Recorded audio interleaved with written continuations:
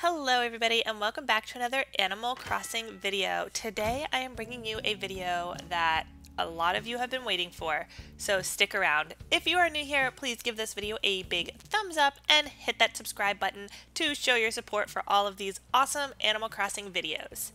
So a lot of you may have found my channel through my original Tarantula or Scorpion Island videos on how to basically create Scorpion Island or Tarantula Island out of all of the different mystery islands. And if you've clicked on this video, I'm assuming that you're looking to do the same. I've been getting a lot of questions about this because a lot of people are under the assumption that Nintendo has nerfed this and has basically removed the ability to make Scorpion Island or Tarantula Island, which is not true. And also, now that we're in June, we're having quite an issue with fireflies.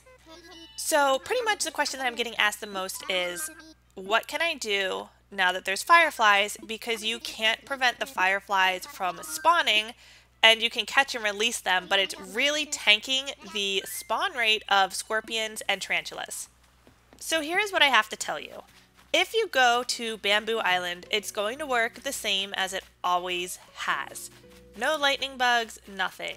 And if you do a little bit of research, you'll find out that these lightning bugs have the exact same spawn time as a scorpion or a tarantula, so 7 p.m. to 4 a.m. However, they spawn in the air only in areas that have fresh water. Since Bamboo Island does not have any fresh water or rivers or lakes or anything, it only has salt water from the ocean and the shoreline, there's not going to be any lightning bugs or fireflies that spawn in this area.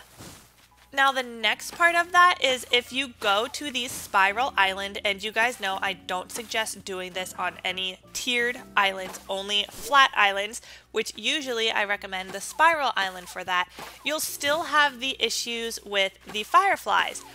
But if you are there and it is raining, there will not be any fireflies. So essentially to make this work, you need to get to Bamboo Island or you need to get to the Spiral Island when it's raining. And I know, I know, somebody out there is thinking, well, there's mosquitoes. What do I do about the mosquitoes? Just like we did with the mole crickets, ignore them.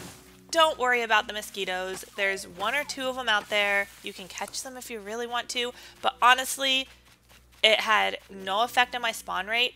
And Actually, my spawn rate with the scorpions while I was doing this was absolutely insane. I mean, sometimes three or four were popping up on my screen at the same time. So if you're new to this whole process, let me go ahead and tell you a little bit about how this works.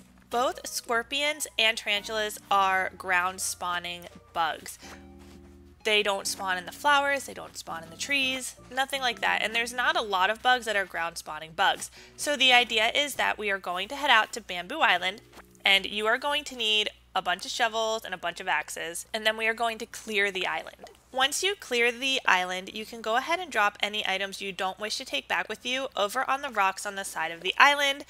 Just keep in mind the bugs that are on these rocks will still spawn, so you will have to scare them away. Which brings me to my next point. After you've cleared the island, you want to go around and scare away any bugs that you find. This will make those bugs disappear and it allows for another bug to spawn. You'll just keep running around in circles until you find a scorpion.